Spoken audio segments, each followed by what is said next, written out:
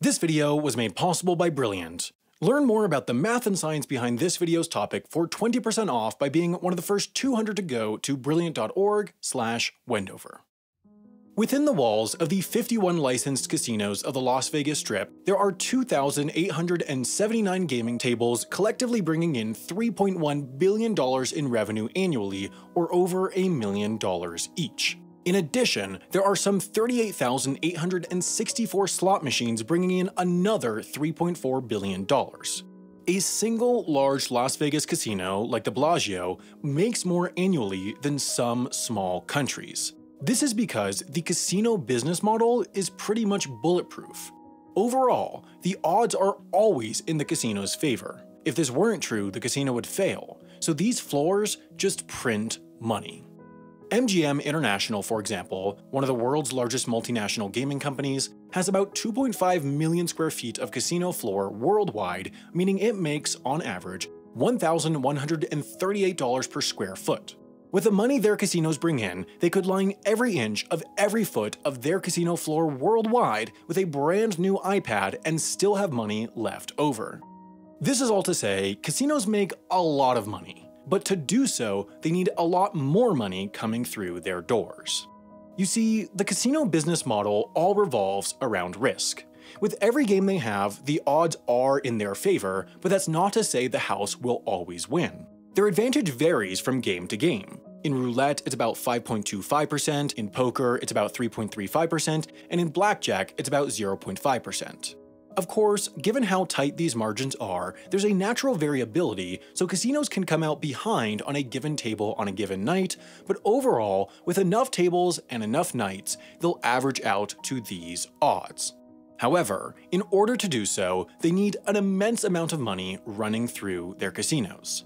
Blackjack, for example, is one of the games with the lowest house edge, so if a casino wants to earn $1 billion in a given year from the game, which would not be an unreasonable estimate for a large gaming company like MGM International, they would need $200 billion changing hands within their doors each year. $200 billion is an enormous amount of money. That's pretty much the entire GDP of New Zealand, passing through, in the case of MGM, a physical structure barely larger than the Empire State Building. When you have such a rapid throughput of money, very slight changes in the odds can make a huge dent in the gaming company's earnings. If, for example, the house edge in blackjack changed from 0.5% to 0.4%, they would lose $200 million, assuming $200 billion in annual play.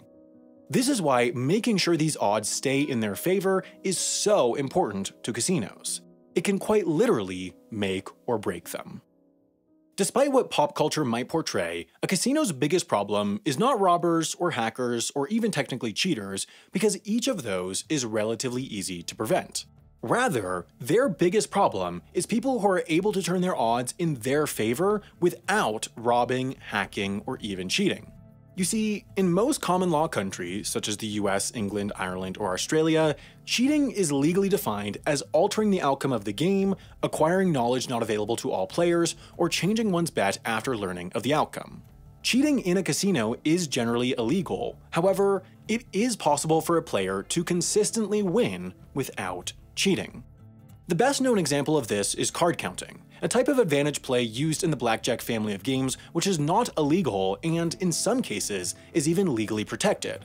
This advantage play technique essentially takes the basic principles of the game of blackjack and uses them against the casino, and these principles are fairly simple. To start a game, each player bets an amount of money, then six decks of cards are shuffled together to form what's called the shoe. Each player is dealt two cards face up, while the dealer gets one face up and one face down. The goal for all participants is simple. It's to get their cards to total as close to 21 without going above 21. The execution of that is much tougher.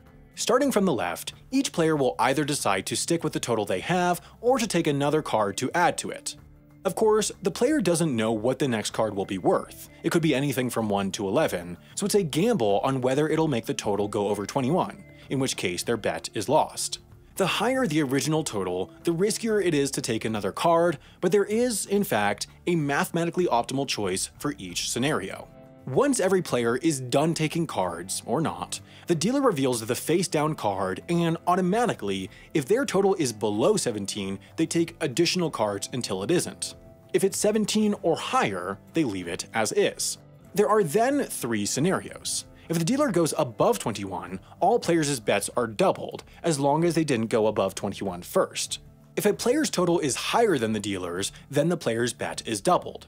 However, if a player's total is lower, they lose their bet. Of course, this explanation skipped over plenty of smaller rules and less likely edge cases, but it is these fundamental elements of gameplay that tie into why card counting works. Now, without getting too much into the math, on average, in blackjack, higher value cards benefit the player, while lower value cards benefit the dealer. While the explanation for the higher cards is more complex, lower cards' benefit is based on the fact that the dealer is required to take additional cards when their total is less than 17, and so a greater density of lower cards makes it less likely that they'll go over 21, in which case each player's bet is doubled.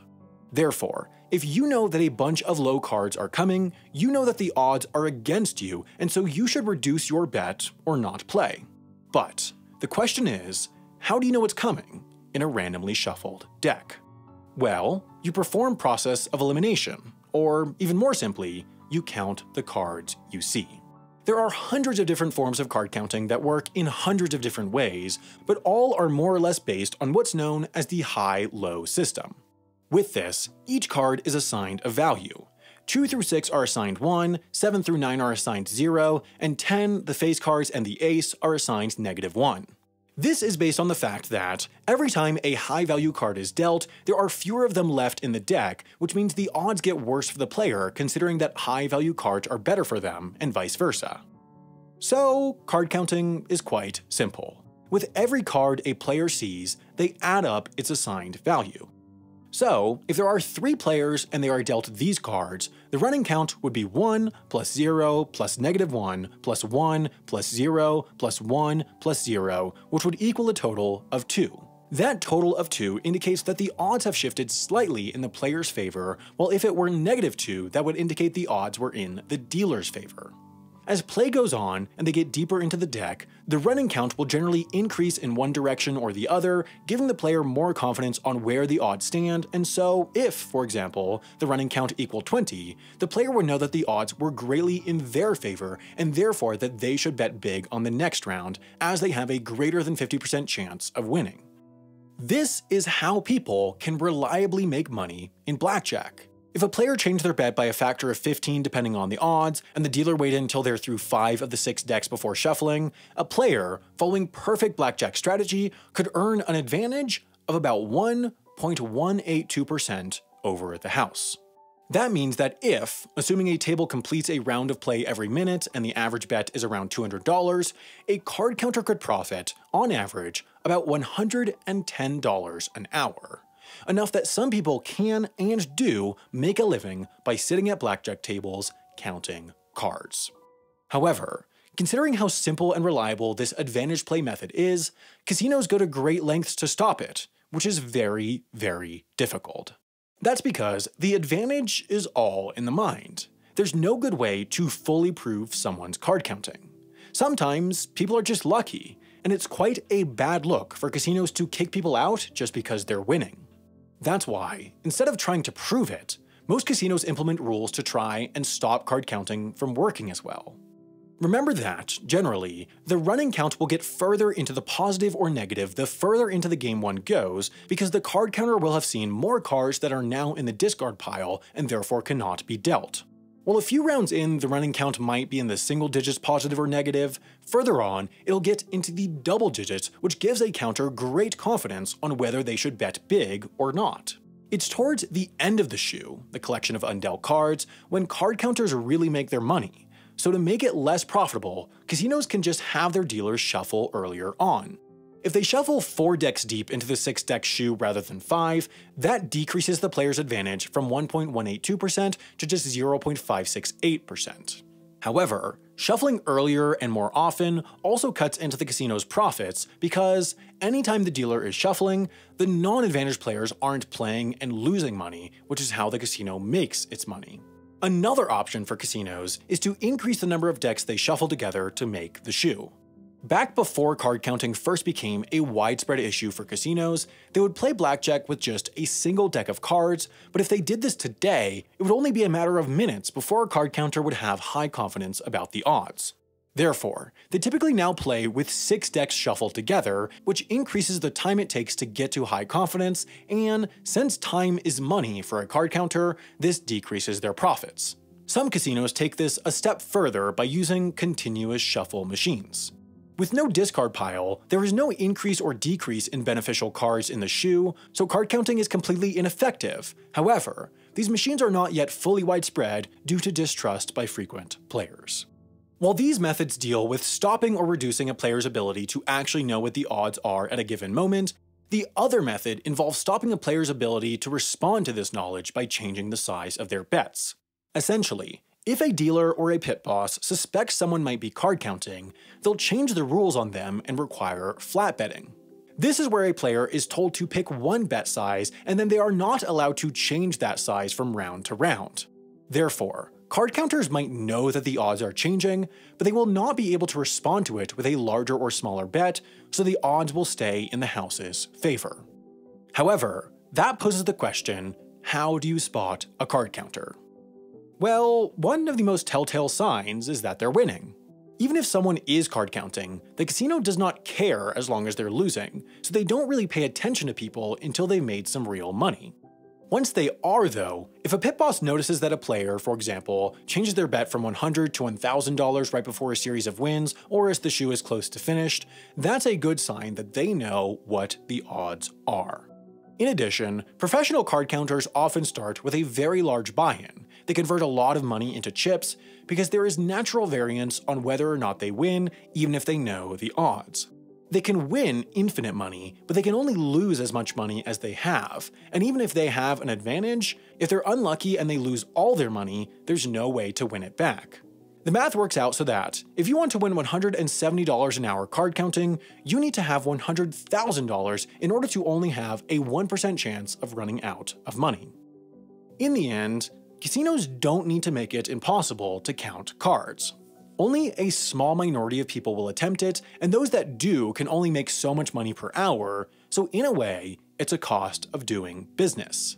To avoid it making a big dent in their profits, all they need to do is make advantage play at their tables just a little bit harder than those next door, and if this is the case, the card counter will go next door. There will always be an escalating arms race by both players and casinos to gain an advantage and stop an advantage, respectively. Mathematics, economics, and human nature combined mean that as long as blackjack and other flawed casino games stay popular, players will always find a way to tilt odds ever so slightly in their favor.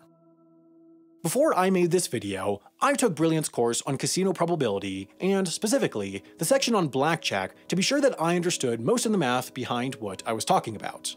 In fact, part of the reason why I wanted to make this video was because I found the mathematics of gambling so interesting, and so, if you did too, this course is a fantastic way to dive deeper into the topic. You can even do this one on the go, in small chunks, with their mobile app, or learn something new every day with their daily challenges, or dive deep into something completely different with any one of their many dozens of super high quality classes. By high quality, I don't mean that they look good or work smoothly, even though they definitely do, but rather that their academics are designed in a way that makes rather complicated subjects easy to learn. They teach you like the best teacher you've ever had, by breaking up big concepts into smaller, digestible, intuitive chunks. So, if you want to dive deep on useful STEM topics, including learning more about the mathematics of gambling, be sure to be one of the first 200 to head over to brilliant.org/wendover to get 20% off.